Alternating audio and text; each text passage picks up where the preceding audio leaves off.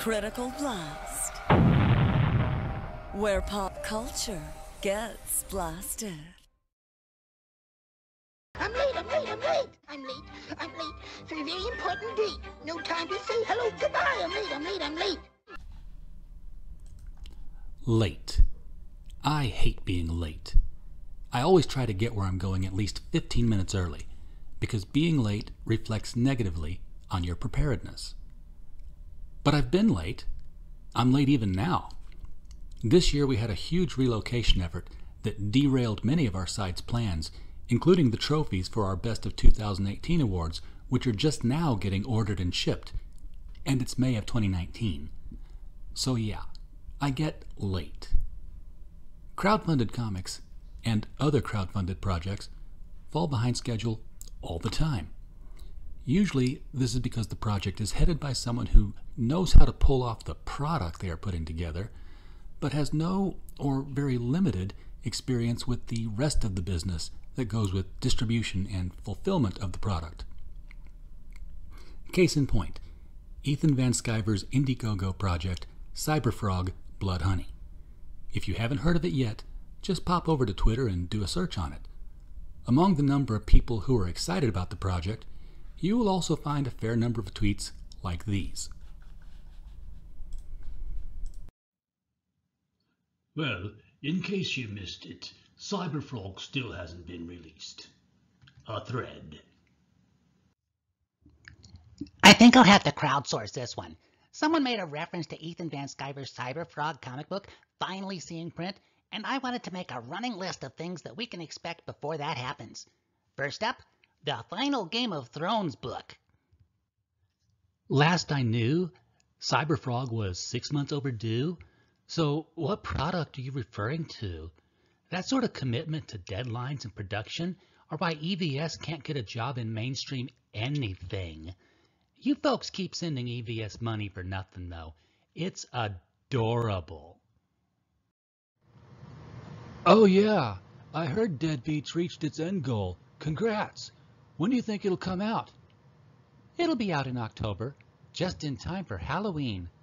So, long before Cyberfrog, essentially. Sorry, folks, but Cyberfrog was a scam, and Ethan Van Sciver hoodwinked us all. The proof is here. Honestly, what else are they going to do while they're waiting for that Cyberfrog book that's never coming? Yup. Just like that late break of the book. Cyberfrog looks like it will never see the light of day. Now, being late on a project is never good. And if you've taken people's money and shown no good faith in delivering on the product, well, there's a word for that. It's called fraud. So, how does Cyberfrog, now about eight months behind its originally announced deadline, stack up against other crowdfunded projects by professionals in the comics community?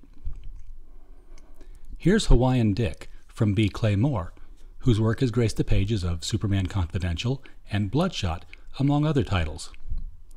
Touted as a soon to be television show, this campaign ended in 2015 and is now three and a half years late after having collected over $20,000. Richard Pace is a multifaceted comics professional, as a writer, penciler, and a colorist. He's written a Batman story for DC and has worked on various issues of Pit. His pencils have appeared in Heavy Metal and Transmetropolitan, and he's done covers for Captain Marvel. He's crowdfunded a collection of his artwork titled Midnight Harvest, which concluded in May of 2014. As of this month, the project is five years overdue, with a collection of $7,000 Canadian. Then there's Zoe Quinn. Quinn is the writer of DC Vertigo's Goddess Mode, but before that, she was a video game designer.